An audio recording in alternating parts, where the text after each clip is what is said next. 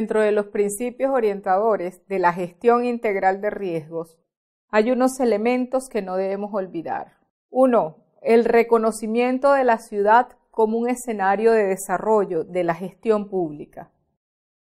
El riesgo como una manifestación de falencias y desajustes en el desarrollo. El riesgo público y la gestión como construcciones sociales. La gestión del riesgo como un aspecto fundamental dentro de la democracia. La indivisibilidad del riesgo como la del desarrollo, es decir, la forma en que estos dos elementos deben seguir unidos. Y la visión del riesgo como un aspecto inseparable de la marginalidad. Veamos cómo teniendo estos principios y estableciendo dentro de cada una de nuestras organizaciones nuestra misión y visión, logramos obtener y operacionalizar todo un sistema integral de gestión de riesgo. Pongamos atención en nuestra lámina. En el hoy podemos establecer dentro de la organización una política de riesgo.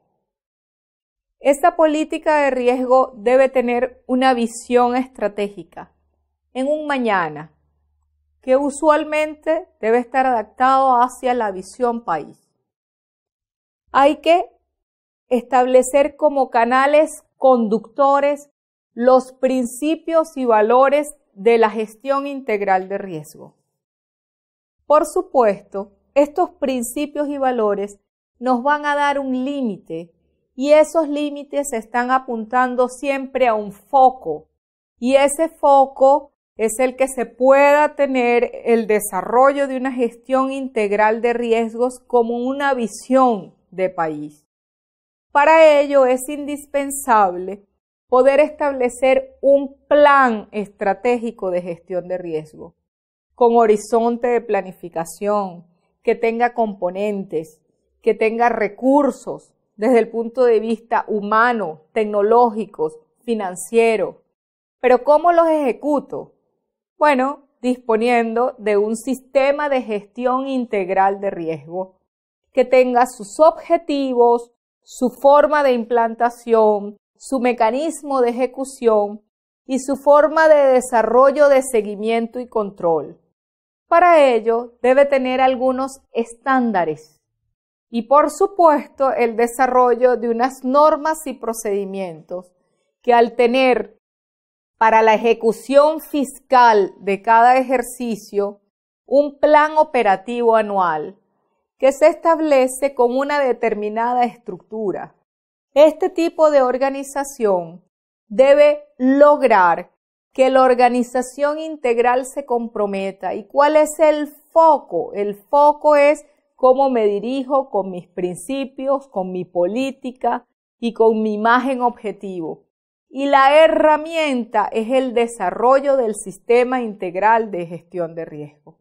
Es decir, con estos elementos podemos desarrollar dentro de nuestras organizaciones un mecanismo que nos permita ver en forma transversal e integral lo que es la gestión de riesgo.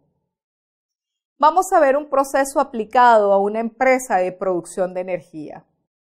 Dentro de una empresa de producción de energía tenemos que ver la eficiencia operacional establecida desde el punto de vista de los procesos de generación, transmisión y distribución de la energía. Dentro de esos procesos nosotros tenemos que apuntar la eficiencia operacional y la eficiencia energética como un eslabón más de la cadena de producción. Dentro de este marco, uno debe visualizar cuáles son las desviaciones de los estándares que se tengan.